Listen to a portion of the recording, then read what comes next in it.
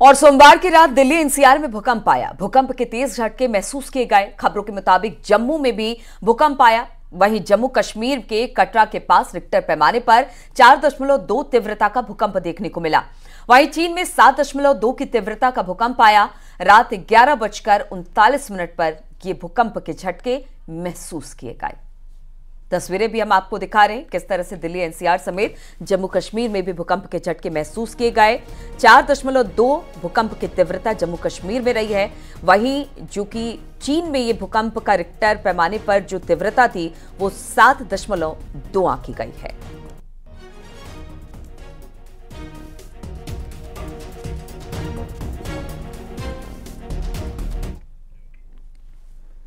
एक छोटे से ब्रेक के लिए रुकना होगा, जल्द लौट रहे हैं।